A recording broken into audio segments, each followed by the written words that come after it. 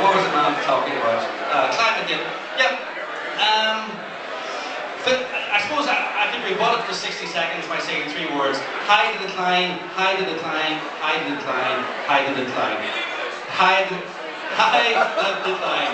I mean, there was an email saying I used the trick to hide the decline. Some people say trick is, is a scientific term, but hide the decline means temperatures have been declining over the 15 to 20 years. I use a trick to disguise that. The, same scientist, Dr. Phil Jones, said in a BBC interview there has been no statistically significant warming in the last 15 years.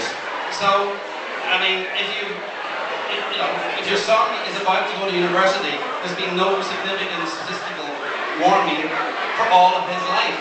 And we're talking about overturning the world economy, stopping development in the third world because of something that hasn't been statistically significant. Okay, that's all you have. And you know, that makes me think, like, you're talking about 15 years of, of having a little bit, you're talking about 15 years of having a little bit of a decline, and that is significant, but in the grand scheme, it's totally insignificant because the, the, it's gone so high up that if there's a little bit of decline, and there's always a constant up and down a little bit, that going up is like, was like a major significant thing.